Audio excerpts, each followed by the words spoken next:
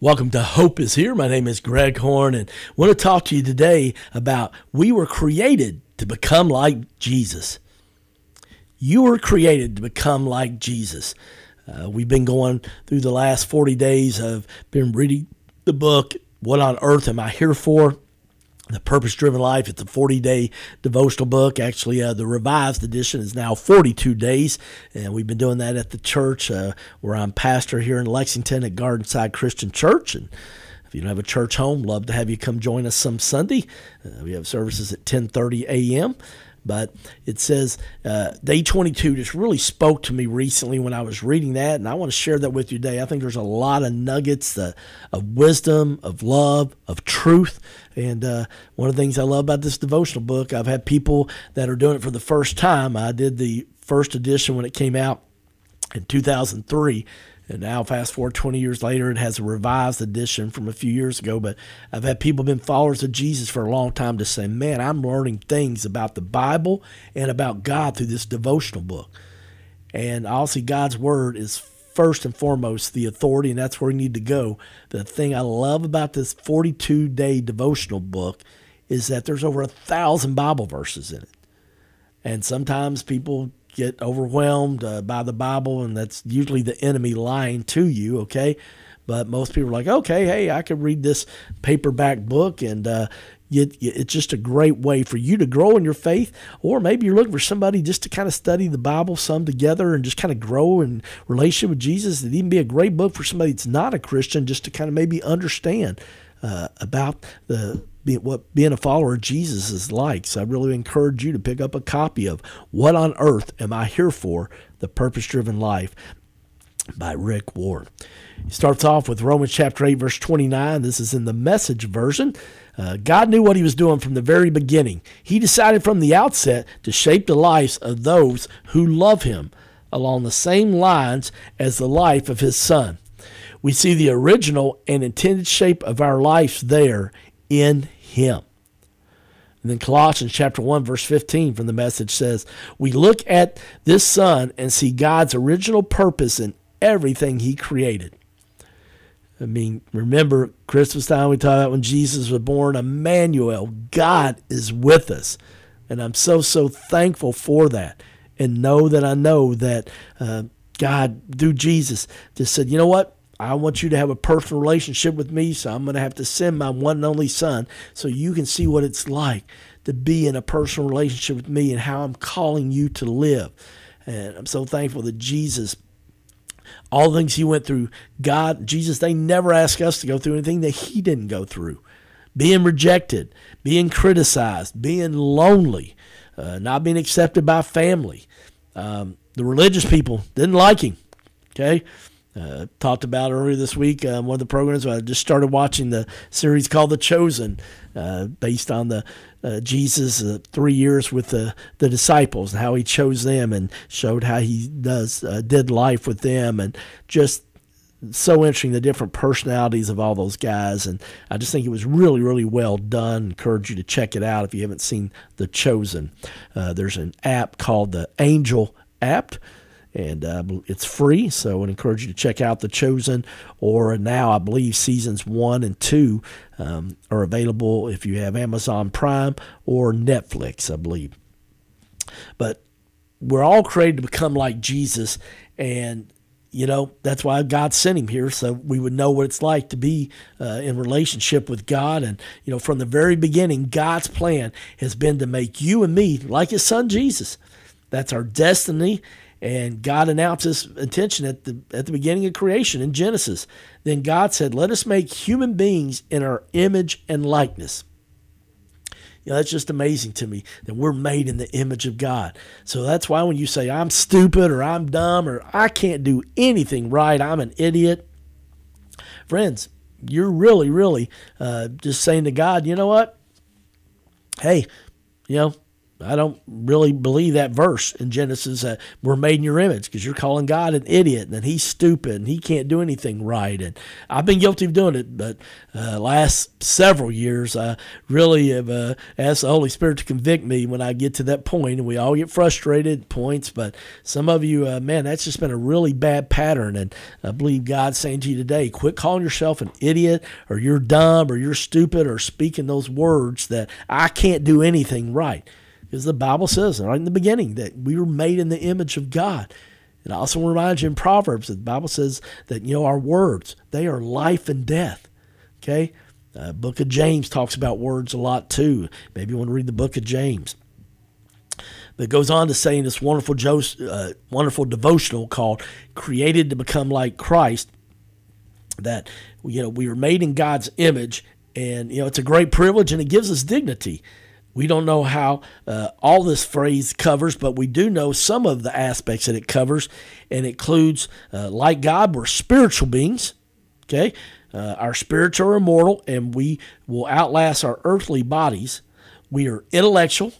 In other words, we can think, reason, and solve problems like God. We are relational. We can give and receive real love, and we have a moral consciousness. We can discern right from wrong which makes us accountable to God. You know, the Bible says that all people, not just believers, possess part of the image of God. And that is why murder and abortion are wrong. But the image is incomplete and it's been damaged and distorted by sin. So God sent Jesus on a mission to restore the full image that we have lost. You know, sometimes people often use the phrase like father, like son to refer to family resemblance. When people see uh, our like, likeness in kids, uh, you know, uh, it pleases parents. I can remember even one time uh, somebody told me, he said, "You know what? You you walk just like your dad." And I just started laughing. I'm like, "Really?" I was uh, around 40 years uh, old then, and I was just like, "Really?" And so then I asked uh, my mom one time, she said, Yeah, never thought about it, but you do. So, you know, it's amazing how there's things that we pick up from our earthly parents we're not even aware of. But here's what God's ultimate goal for us is His ultimate goal for our life on earth, and this one's a little painful to hear. When I was reading this devotion, I don't like it, but I've heard Rick Warren say it now for over 20 years, and I believe it, friends. it says, God's ultimate goal for your life on earth is not comfort, but character development. Ouch. Say that one more time. Some of you may have ran off the road, or uh, you may get ready to stop listening to this podcast or watching this on our YouTube channel. God's ultimate goal for your life on earth is not comfort, but character development. I want to remind you, friends, that life on this earth is a dress rehearsal for heaven. And, you know, uh, I like being comfortable. Hey, what's the number one selling uh, chair in people's living rooms, you know, TV rooms? The La-Z-Boy. yeah, baby. I mean, I've got a recliner, and uh, man, I look forward to getting home in the evenings and sitting in that. And sometimes I read, but quite often, I have to be honest, I'm watching TV, and you know, uh, uh, we can get all about comfort. Yet, I know that uh, when I get to go to uh, the beach, and one time I didn't get to go for several years, uh, couldn't afford to go on a vacation. And when I finally got to go back to the beach, uh, I ran into this guy, and once that we're talking, and he was a pastor, and he lived there. And so I was asking him, was actually at a supermarket out of all places. He had a shirt on with a church on it. And so I just was asking, making small talk. We were both waiting on some deli lunch meat we were buying.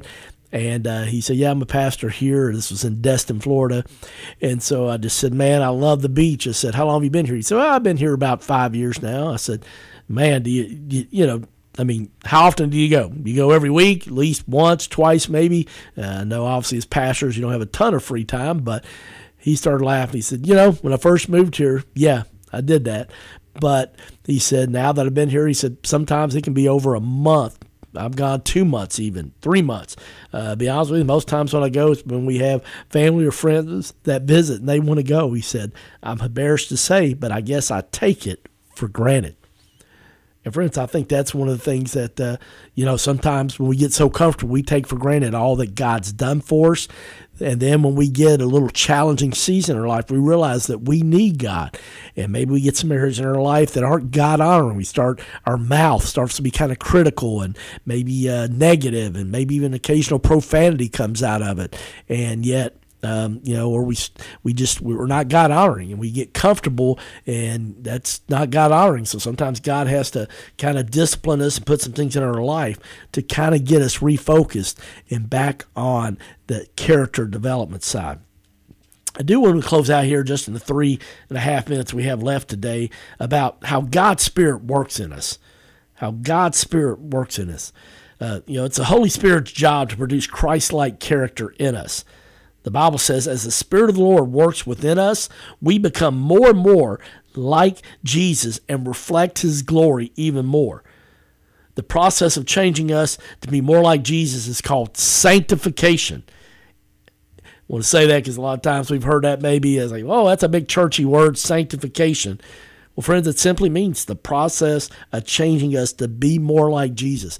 God is sanctifying us, making us more like Jesus. And that's part of that character development. And, you know, one of the things that I'm learning is that, you know, that we can't produce the character, uh, reproduce the character of Jesus in our own strength. You know, we all sometimes make New Year's resolution or we think uh, willpower, and we all have the best intentions, but let's be honest, they're simply not enough. Only the Holy Spirit has the power to make the changes that God wants to make in our lives. The Bible says in Philippians chapter 2 verse 13, God is working in you, giving you the desire to obey him and the power to do what pleases him. But you know, unfortunately, sometimes we mention the power of the Holy Spirit. Uh, you know, church I grew up in uh, many, many years ago. They called it the Holy Ghost, and they didn't say it very often. And honest, as I heard about as a kid, it kind of scared me. Uh, the Holy Ghost, oh my goodness, had to sleep with the light on. But you know, uh, most time we mention that power of the Holy Spirit, many people think of miraculous demonstrations or intense emotions. But most of the time, the Holy Spirit's power is released in our lives in quiet, unassuming ways that you're not even aware of or we can't even feel. He often nudges us with a gentle whisper, as it says in 1 Kings chapter 19, verse 12. And you know, here's here's the deal, friends. Christ likeness is not produced by imitation, but by inhabitation. Okay? Christ likeness is not produced by imitation, but by inhabitation. We allow Christ to live through us, for this is the secret. Christ lives in you. I know you're like me. Well, how does that happen in real life, Greg? Well, it's through the choices we make. We choose to do the right thing in situations, and then we trust God's Spirit to give us His power, His love, His faith, and His wisdom to do it. Since God's Spirit lives inside of us, these things are always available for the asking. So I talk about on Hope is Here. Know, occasionally I'll mention about, you know, we're never alone. Would remind you, you always have the Trinity, the Father, which is God, the Son, Jesus, and the Holy Spirit. And when Jesus left, he said, you know, hey, I'm going to be leaving you the Holy Spirit, a comforter and a counselor. And I can't tell you how many times I've cried out to that Holy Spirit over the last 20 years, friends, since the flood, the bankruptcy, divorce, and then when I went into ministry. And now, as a single adult, uh, I need the Holy Spirit to help me, to comfort me, to guide me, to give me wisdom, to give me strength. And I'm so thankful that God freely, freely gives that. And I've got to make the effort to do that. Uh, at least eight times in the New Testament, we are told to make every effort in our growth to becoming like Jesus. So we just don't sit around and wait for it to happen. We ask the Holy Spirit to help us. We're out of time, but hope you were blessed today by we are created to become more like Christ. I'm Greg Horn, and this is Hope is Here.